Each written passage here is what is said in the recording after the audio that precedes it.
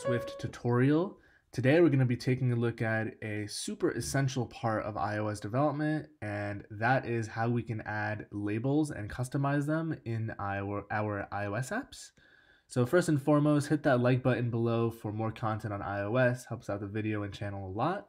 That being said, let's fire up Xcode and create a brand new project, single view app, call it what, what you want. We're going to call it label save it, hit Command R once Xcode loads to build and run. And while it's doing its thing, let's expand the window here. And also this side to give ourselves some more room to work. And we see we have this blank app. So let's go first and foremost and jump to our storyboard, if I can spell storyboard today. We're going to set the background color of this to black and we're going to add a label. So simply hit this, search for a label and drag it in. Oh man, I can't drag it today. It's not my day today. There we go.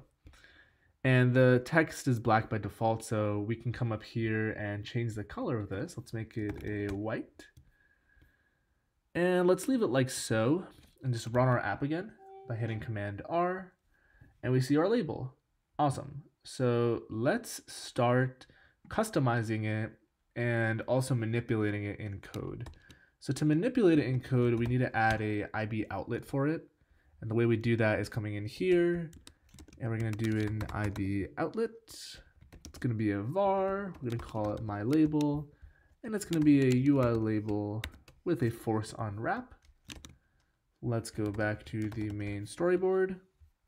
Let's right click on our view controller and drag from my label to our label. And lastly, let's add some constraints to this so we can test on different screen sizes. Let's do, um, let's actually do 200, 200, add, and let's center this in both vertically and horizontally in the container, like so. So let's start talking about customizing. So like you can probably imagine and also see in other apps, we can change a bunch of things on here.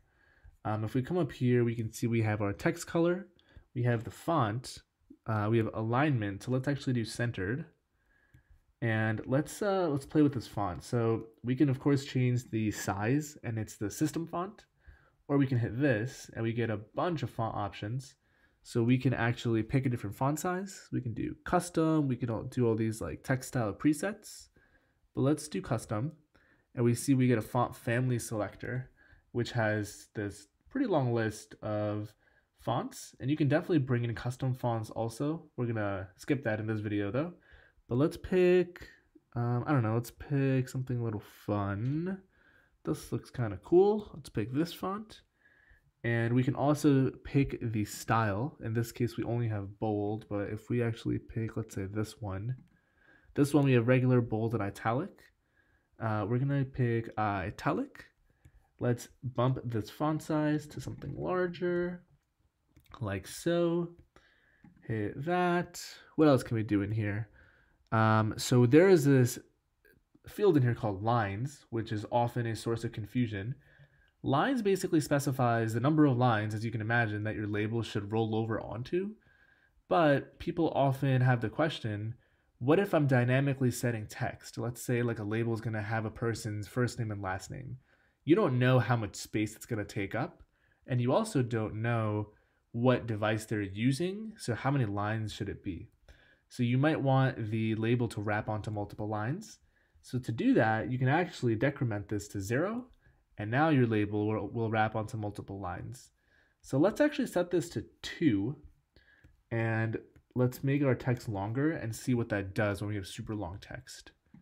So if I say, whoops, if I come in here and type in, this is a long piece, piece of text to show you see after this, it gives you the dot dot dot to truncate, truncate the text. But if I come here and hit this again and make it zero, uh, make this zero, whoops, well now it's one. Let's make it, if I could hit it today, let's make it zero and come back to this. We see now our text wraps uh, onto a third line because that's how long the text is.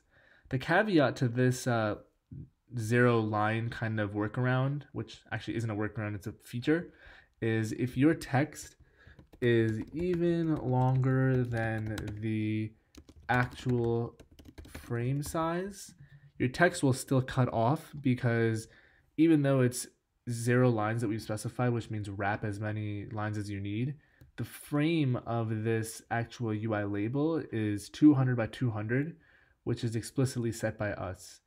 And this box will not be scrollable. So if we actually run this in our simulator, we'll see that this uh, this label box is not scrollable.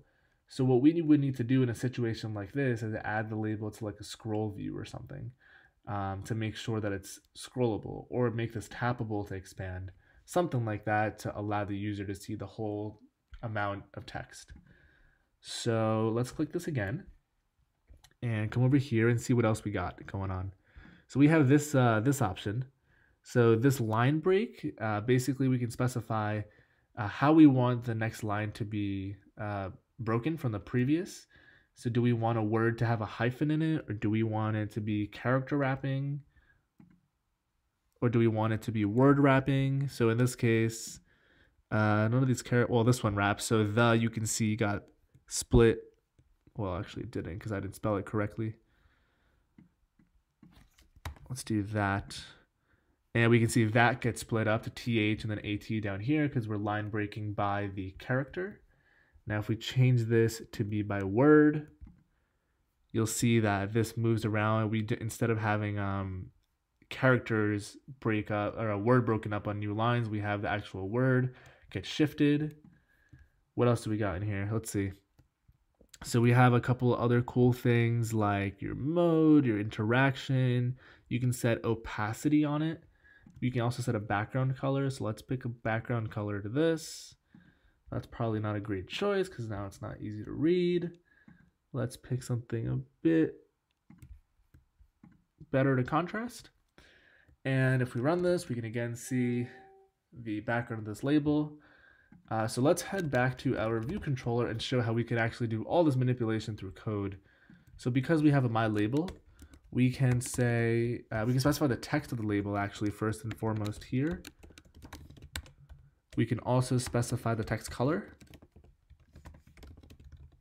We can specify the text alignment. Basically anything you can do in the storyboard, you can do here in code. We can specify the number of lines. Whoops, we don't need the semicolon. And lastly, let's specify the background color as, uh, let's do white. And like so, we can see all of our code specified um, rules here, properties are the ones that are shown here. Uh, the code here actually overrides what's in the storyboard because it executes after the storyboard loads. And yeah, that's how you can add a UI label in your iOS apps. I'll also mention that there's another uh, there's another object called UI text view, which is similar to a label but offers a couple more things in terms of functionality. I'll definitely do a video on that too. Uh, if you enjoyed the video, again, please hit that like button below. Leave comments if you have questions, concerns, any feedback. I always love hearing from you all. Thanks for watching, and I'll catch you in the next video.